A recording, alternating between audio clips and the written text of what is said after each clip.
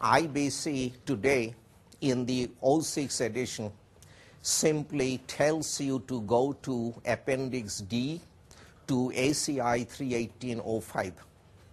So, so what I have told you so far is that every single anchor in California now must be designed by Appendix D of ACI 31805.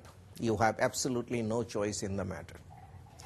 And this appendix is quite different from the strength design or ASD that you have been used to. Not only that, it is a matter of fact that anchors that used to work out in the past will not work out anymore in many, many situations. Okay? And, and, and there are reasons for that that I would like to discuss with you. Now, this Appendix D of ACI 318 covers headed bolts, headed studs, hooked bolts that are cast in place, and expansion anchors and undercut anchors installed in hardened concrete. Okay? So that is the scope of Appendix D. Anything that is not mentioned there like an adhesive anchor, you simply cannot design using ACI 318 Appendix D. You have to go to other sources. Now, this concrete capacity design method predicts the load capacity of an anchor, a single anchor or a group of anchors by using a basic equation for tension and another basic equation for shear. Each of those basic equations is for a single anchor in cracked concrete. Cracked concrete is now the benchmark. That does not mean, emphatically does not mean, that ACI 318 is telling you your concrete is always cracked. No, that, that's not the implication.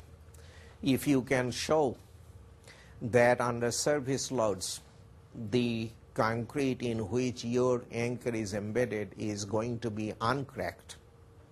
The stresses are lower than modulus of rupture, for instance. Then you can apply a correction factor larger than 1. You can increase the strength that is for cracked concrete, the benchmark strength. A group of six bolts that are half inch headed bolts. Uh, this is the material yield strength of the material 36 ksi, the tensile strength 58 ksi.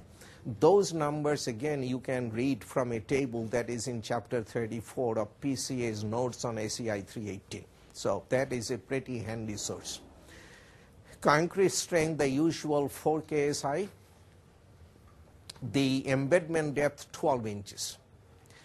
The uh, thickness of the concrete into the screen is 18 inches. So you have 18 inches of concrete physically and the anchor goes in 12 inches.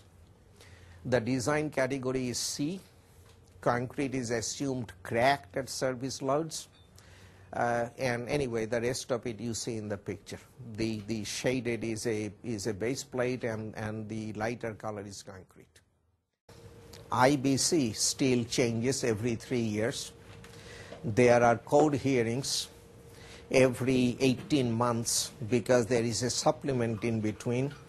And and if you can satisfy this IBC structural committee you can have amendments made to ASCE 7 the force levels in ASCE 7 can be changed in the code now this is obviously the most immediate remedy that is available to us. So we have submitted a number of code changes for inclusion in 2009 IBC. Okay, and I want to want to share some of that with you. What I'm going to do is try to uh, discuss uh, first uh, post-installed anchors uh, in a general way with you and talk about not just the way you design with them, but the way we have to qualify them in order that you can design with them. And that's changed pretty dramatically uh, over the last uh, five years.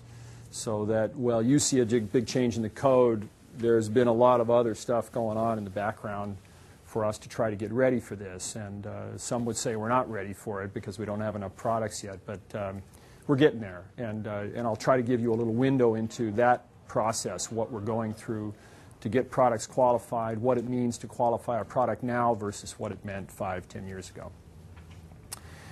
Uh, and then we will try to cover some examples like SK did, but I, my examples will be sort of a little more off the cliff type of examples where uh, we look at things that you might be able to do to uh, make it easier to get uh, along with the code with respect to ductility and with respect to the needs of the anchor uh, so that the anchor doesn't become the weak link in the, in the load path.